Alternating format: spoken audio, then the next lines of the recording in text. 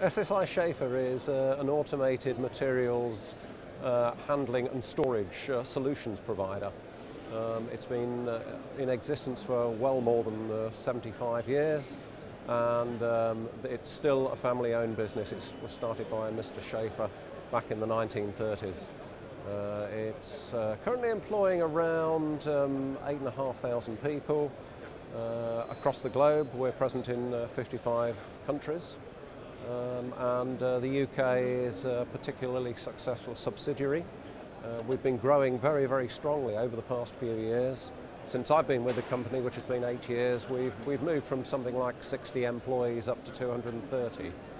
Uh, so we're being um, very successful in uh, managing to secure a lot of uh, projects within the UK, um, and the company continues to grow on that basis.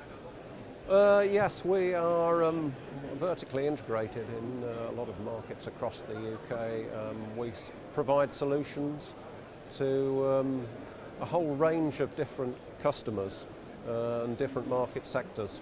Uh, basically, anything from retail through e-commerce to uh, automotive spare parts, uh, pharmaceutical supplies. it's all sorts of things across the board. Uh, we have launched a product this year in the UK called the Weasel. Uh, it's an automated uh, guided vehicle.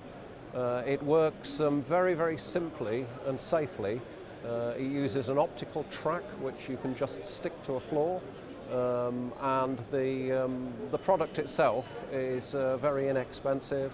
it's very good for transporting small parts in both production environments and warehouse and distribution centre environments without the use of a conveyor. So conveyors often obstruct walkways, you have to get across them, perhaps put gates in them, and they do present natural barriers to a certain extent. But the Weasel track, you can walk across the track, you can run pallet trucks across the track. It doesn't interfere with the Weasel. Uh, it's an optically guided system, um, and it is safe. It will stop if it detects something in front of it. Uh, IMHX this year uh, has been very nice for us in terms of we're providing a, uh, a brand new look for our customers and prospective customers. Uh, in the past, we've always supported IMHX uh, over the years with um, a stand showing our traditional product base. So we'd have a lot of working equipment on the stand that customers could come along and touch and feel um, and get a really good idea of, of, of what we were about.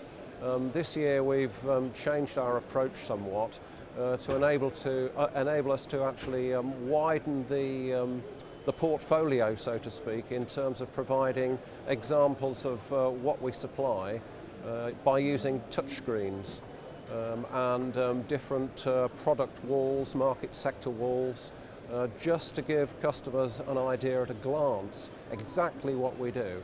Um, we're coming across, I think, now as very much a technology company, but within that technology, we are still a very traditional organisation providing very traditional solutions um, for storage. Uh, that's shelving and racking, uh, plastics, um, as well as um, at the other end of the scale, software and warehouse management systems, warehouse control systems, and um, customer service and support systems.